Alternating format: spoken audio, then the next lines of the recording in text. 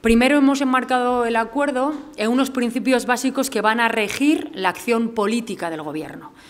Seguir ahondando en un modelo que aúna desarrollo económico y cohesión social, garantizando un crecimiento sostenible y la igualdad de oportunidades, y para ello, y como eje de la igualdad de oportunidades, pasa por el fortalecimiento de los servicios públicos como elemento clave.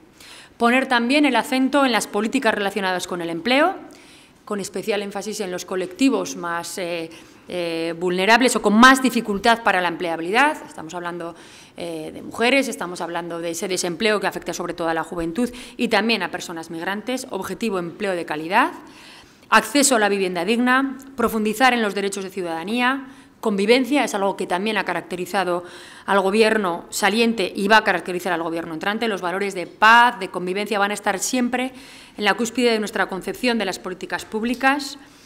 Vamos a ser un Gobierno feminista que empodere a las mujeres, que respete la diversidad afectivo-sexual, los derechos de las personas LGTBI+, que trabaje por la no discriminación y contra todo tipo de violencias, contra las violencias machistas que especialmente esta semana están siendo muy duras.